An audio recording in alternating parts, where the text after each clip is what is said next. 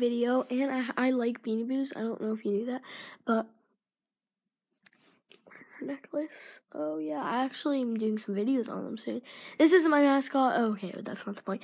Why I changed my username is the point of this video. And why I did is because LPS Faith Films flowed nicely. And LPS Faith K didn't. I mean, trust me, it sounds better than LPS Faith like W or something like that, or Z, but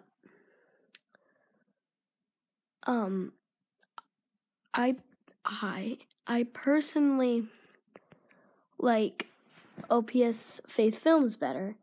So yes, I did change my username, and I used to be LPS Faith K, and I wanted a new start. And yeah, okay, I'm just gonna set you back there because you're revealing my identity.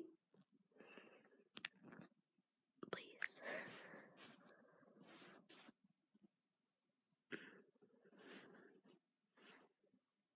So yes, I changed my username to LPS Faith Films.